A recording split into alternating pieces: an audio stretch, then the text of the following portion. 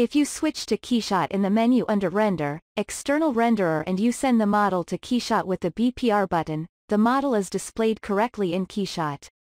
However, if you switch to GPU, the textures are no longer displayed correctly. You can easily fix the error. Click on Material. All materials of the scene are listed here.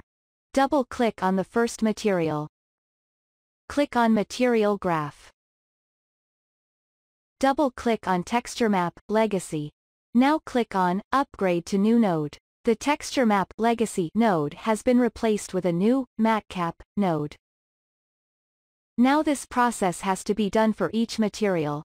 Click on Material. Click on the Material graph. Double-click on Texture Map Legacy Upgrade to New Node. Of course, this is a bit time-consuming when there are a lot of materials but you will be rewarded for the work, because then rendering of ZBrush files with textures in Keyshot works via the GPU. This little bug will definitely be fixed in the future. Now the model can also be rendered normally via GPU. Thank you for looking and have fun rendering with ZBrush and Keyshot.